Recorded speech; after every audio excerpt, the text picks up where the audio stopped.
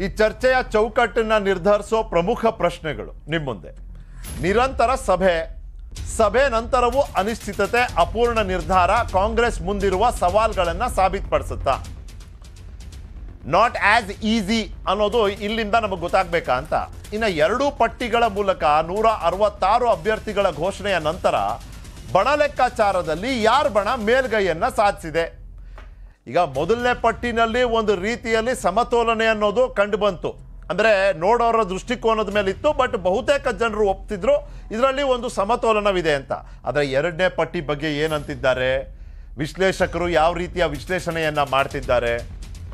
ಪಟ್ಟಿಯೇ ಬಿಡುಗಡೆ ಮಾಡದ ಬಿಜೆಪಿಗೆ, ಕಾಂಗ್ರೆಸ್ ಪಟ್ಟಿಗಳ ಬಗ್ಗೆ ಪ್ರಶ್ನಿಸುವ, ಟೀಕಿಸುವ ಅಧಿಕಾರವಿದೆಯೇ?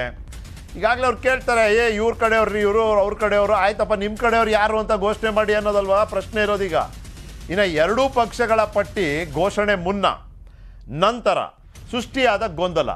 ಮೂರನೇ ಪಕ್ಷವಾದ ಜೆ ಡಿ ಎಸ್ಗೆ ಲಾಭವಾಗುತ್ತಾ?